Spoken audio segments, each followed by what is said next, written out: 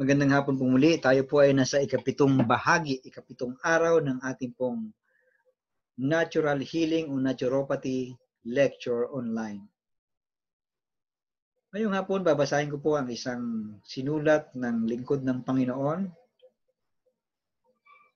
sa Councils for the Church, page 235, paragraph 6. We do not mark out any precise line to be followed in diet, but we do say that in countries where there are fruits, grains, nuts in abundance, flesh food is not the right food for God's people. I have been instructed that flesh food has a tendency to animalize the nature, to rob men and women of that love and sympathy which they should feel for everyone, and to give the lower passions control over the higher powers of the being. If meat eating was ever helpful, it is not safe now. Cancers, tumors, pulmonary diseases are largely caused by meat eating. Hindi lamang po ang mga mensahero ng Panginoon, mga pastor, ang nagsasabi na hindi maganda ang pagkain ng mga karne ngayon sapagkat iba na ang takbo ng panahon. Hindi katulad ng unang panahon na maganda ang kalagayan pa ng mga hayop ngayon po ay under stress sila sa kanila pong mga mga livestock uh, center yung pong mga lugar na kung saan inaalagaan ng mga hayop na yan ay hindi na maganda.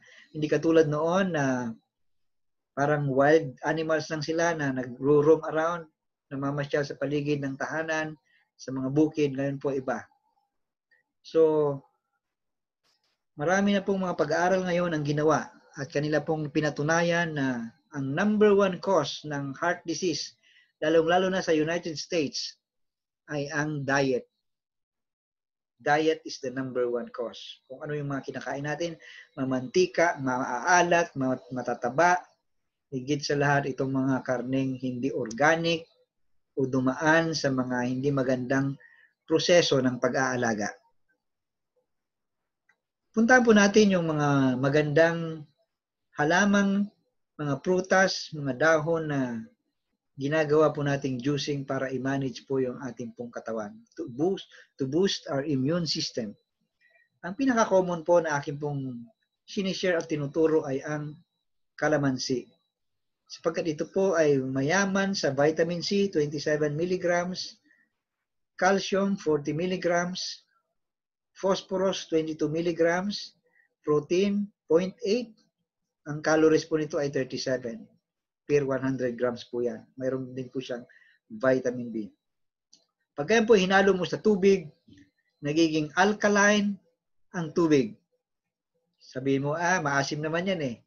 Pero maasim po yan, pero pagdating sa tiyan, it has one of the best alkalinizing effect. Ako po ay pitong taon nang umiinom ng kalamansi pure. Walang asukal, pinipiga ko lang ang apat na piraso sa isang cup ng tubig. Tapos iniinom ko po yan umaga pagkagising bago kumain at sa gabi bago matulog. Nakita ko po ang kagandahan ng inumin na yan. Nilalagyan din po namin ng dalawang pirasong ngipin ng bawang. Nabasa ko po sa aklat ni Sino po itong Bo Sanchez, isa pong layman preacher ng Catholic Church at isang uh, inspirational speaker. Ang kanya naman pong practice ay 40 pieces of calamansi every morning. So ang ini-encourage ko po sa inyo ay ito lamang pong lagyan natin ng tubig sapagkat sobrang asim minsan ay hindi rin maganda sa pakiramdam ng iba. Although pag sanay ka na, Katulad sa akin, kayang-kaya ko po yun, 40 to 50 pieces. Pero ginawa ko na lamang pong practice ang 4 pieces na may tubig at with crushed garlic na dalawang ngipin, dalawang cloves of garlic. Napakaganda po ng inuming yan.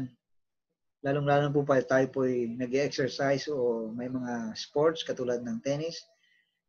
Matagal pong mapagod sapagkat napakagandang tonic drink, prophylactic drink, at nutritional drink ang kalamansi. Kung gusto naman po natin ay yung lemon na nabibili, yung kulay dilaw, slicein po natin yan at ibabad sa tubig magdamag. mayroon po tayong tinatawag na fusion o ibabad lamang po natin yung mga hiniwa-hiwang mga gulay at prutas, magdamag, inumin na po natin kung wala po tayong blender o juicer. Okay, kalamansi po kasi ang aking one of the best favorites kasi nga po napakadali niyang hanapin. Ang lemon minsan wala sa talipapa, pupunta ka pa sa SM o sa amang grocery. Ito naman pong pipino ay very juicy, very alkal- alkaline and liquid. Did you know our body is composed of 70% liquid? Every time you urinate and move your bowel, liquid is out, especially when you sweat it out or exercise. Drinking soft drinks or coffee will make it worse because, because it is diuretic and cause you to urinate further. So kung tayo po iinom ng soft drinks o coffee habang tayo po nag-exercise o nagpapapawis, it makes it worse kasi lalo niya tayong pinapaihi. So yan po ang disadvantage ng tea or soft drinks o coffee. Drinking plain water is not enough because it lacks minerals you lost. Kung tayo po ay nag-exercise, strenuous exercise or sports, gawin po natin ang mga bagay na ito, yung lemon water, calamansi water, or itong cucumber, gawin po nating juice or fusion, ibabad po natin magdamag kung wala tayong juicer slice natin ng maninipis, ibabad magdamag, kinabukasan yun po ang ating baunin as water. Maganda po yan sa balat, sa buhok, blood sugar, digestion, fights bacteria and viruses, nourish our immune system. So ang ginagawa ko po, pagka medyo masipag ako, ibe-blend ko po yan, hugasan ko po ng mas malinis na malinis, tapos i-juice po natin kasama po yung balat. Huwag niyo pong itapon yung balat kasi green po yan. Ano po yung pinag-aralan natin kahapon? Ang green ay mayaman sa chlorophyll. So, lahat ng green na yung nakikita, pwede nyo gawing juice. Ang disadvantage lang, pag hindi siya juicer, ay katulad po ng mga dahon-dahon, kukunti yung katas. One of the best na gawin nating juice o i-blend is ang pipino sabagat very juicy. Ito naman pong carrots. Sweet and succulent carrots are notably rich in antioxidant. Ito naman po ay maganda sa mga may cancer. Although mag-iingat po tayo kasi pag ang cancer ay stage 4 na, kahit anong gawin nating painom ng painom ng mga bagay na ito, baka walang maging effect masyado because it's too late. Pero sa atin na malalakas pa, gawin po natin ito to nourish our immune system.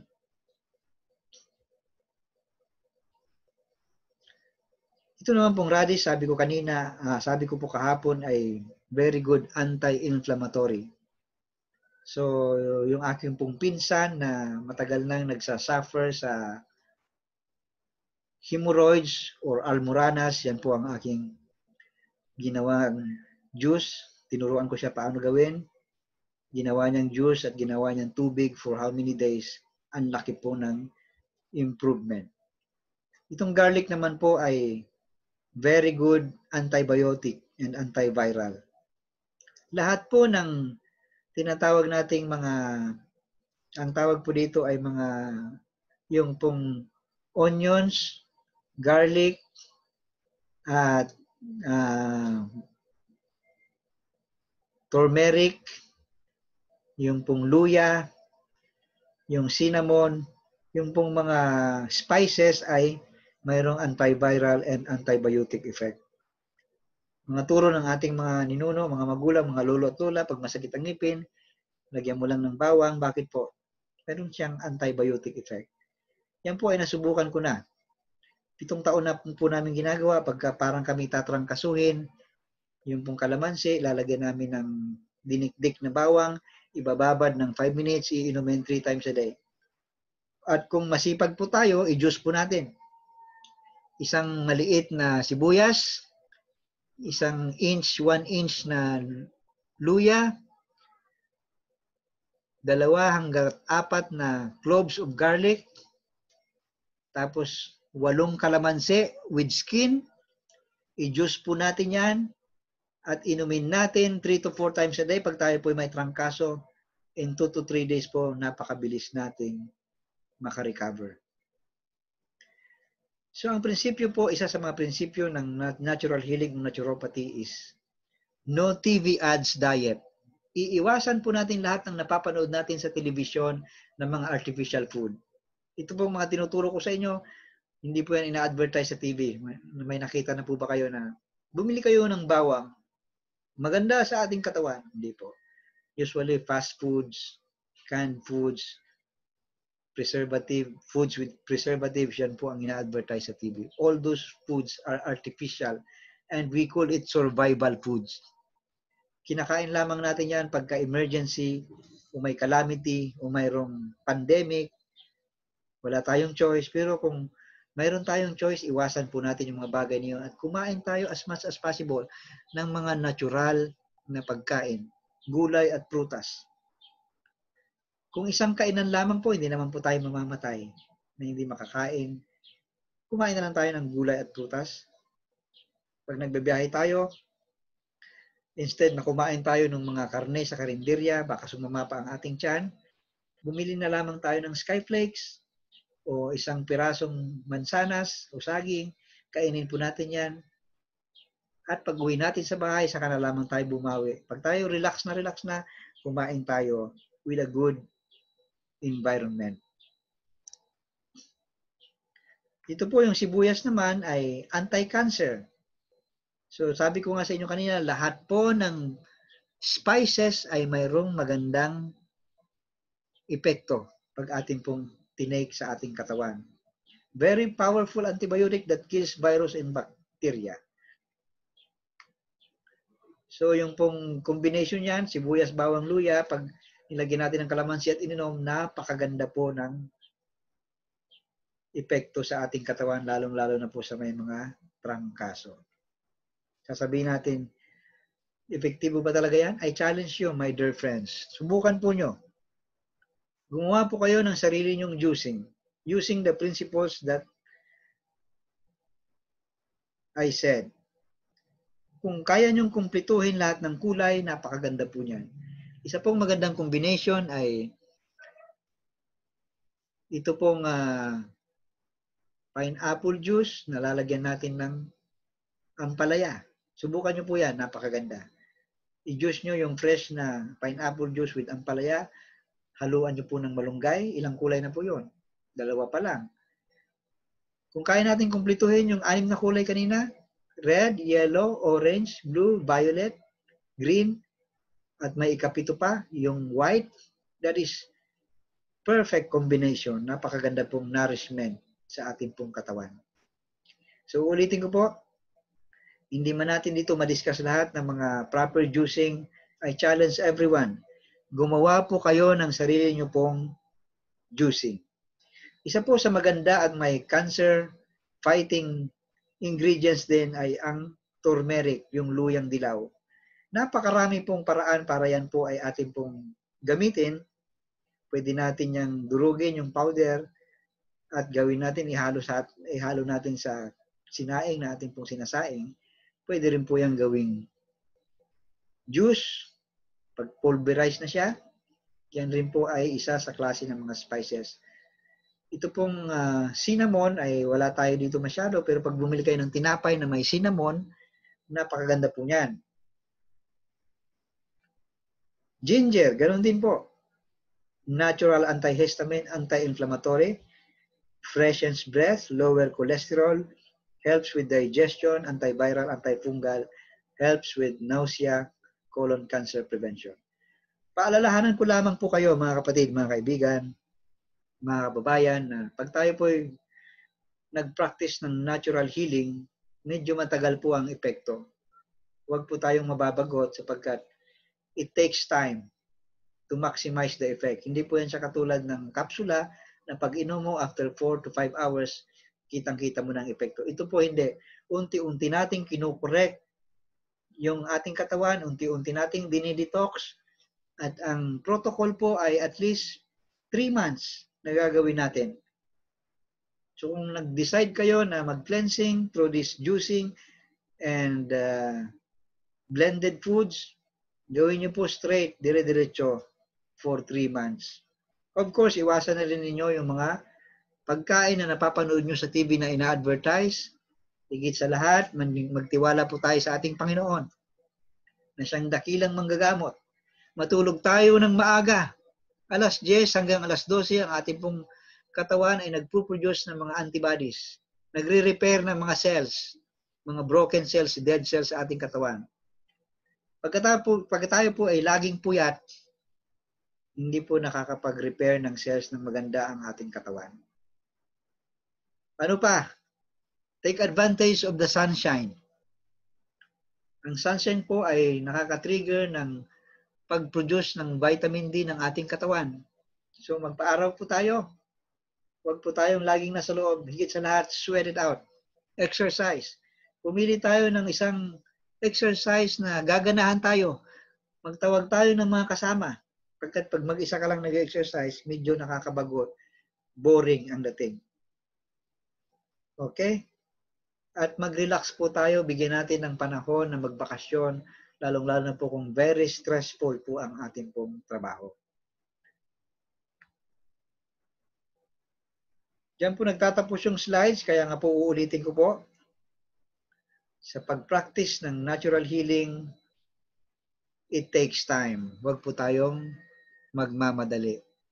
Sapagkat ang ating pong katawan ay mag-a-adapt, lalong-lalo na po kung nasanay tayo sa mga pagkain na mamantika, matataba, maaalat, matatamis. Yan po yung mga culprit sa ating pong kalusugan. Iwasan po natin yung mga bagay na yan. Isa pa pong tip na gusto kong ituro sa inyo. Pagka po tayo po ay may sipon, may ubo, may plema, iwasan po natin yung mga highly processed na mga flour or bread, white bread, white sugar sapagkat nakaka-trigger lalo ng phlegm production. Yung mga pagkain ganon, rich in carbohydrates, lalong-lalo na yung mga too much processed or tinatawag nating yung puting-puti na asukal o flour, hindi na rin po maganda sa ating pong katawan. As much as possible, yung rich in fiber, doon po tayo mag-focus. Okay, gusto ko pong i-share sa inyo yung absorption na binabanggit ko kanina sa ating pong katawan. Ipapanood ko lang po sa inyo sa YouTube, pansumandali.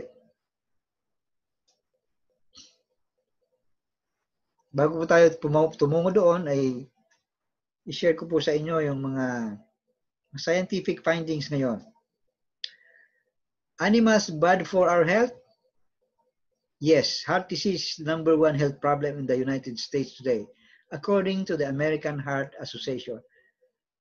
Heart disease is related by diet related, caused by diets high in animal products, meat, eggs, dairy products, high in cholesterol and saturated fat. Kung mayroong na po tayong problema sa puso, unti-unti na po nating iwasan at iwanan ang pagkain ng karne. Yan po ay very proven na at sangayon sa mga scientific research and findings lalo pong lalala ng lalala ang ating pong kalagayan. Unti-unti nating i-shift yung ating diet sa natural fruits, grains, nuts, and vegetables. What are the bad things about meat eating? Top 10 health concerns linked to meat consumption, heart disease, cancer. Ako hindi na po ito hindi na po ako nagsasabi sa inyo. This is the PETA organization at Mercy for Animals organization. Stroke, diabetes, obesity, harmful cholesterol, acne, erectile dysfunction. Why should we not eat animal products? The consumption of animal products has been conclusively linked to heart disease, cancer, diabetes, arthritis, you name it, napakarami pa. So kung tayo po may mga karamdaman na ngayon, gusto nating makarecover, unti-unti po nating i-shift yung ating diet sa natural diet. Nang sa gayon, matrigger sa ating katawan yung natural healing process. Kung kayo po ay may mga karamdaman at gusto nyo pong tulungan namin kayo, makipag-ugnayan lamang po sa akin sa Facebook. Tuturuan namin kayo ng diet management, lifestyle management sa ating pong mga karamdaman. Okay, pakita ko lang po ng mabilisan bago po tayo magtapos. How food is absorbed in our body. Ito po yung nilecture ko ng mga nakaraan. Gusto ko pong ipakita sa inyo.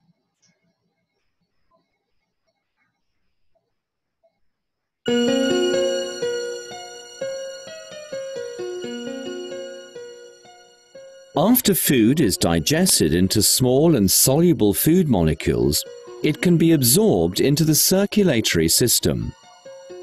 This absorption process mainly takes place in the ileum.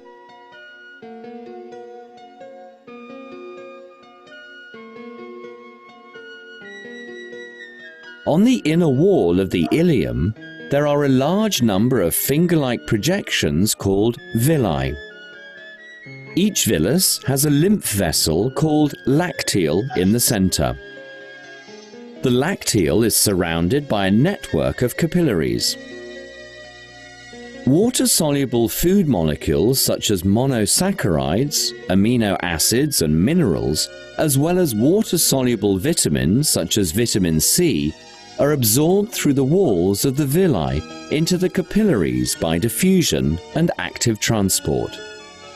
As the absorption of digested food into the blood increases the water potential of the content in the ileum, water is drawn into the blood by osmosis.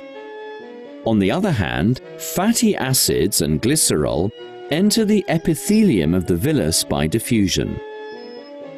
In the epithelial cells, they recombine into fine lipid droplets. The lipid droplets then enter the lymph in the lacteal.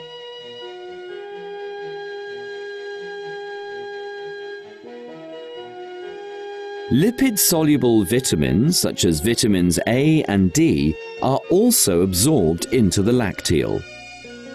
The lipids and lipid-soluble vitamins in the lacteal are transported to the main lymph vessels and eventually to the bloodstream.